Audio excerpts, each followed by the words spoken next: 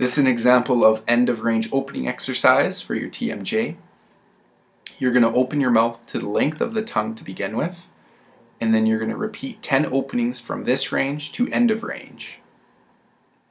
You'll want to repeat this exercise two to three times per day.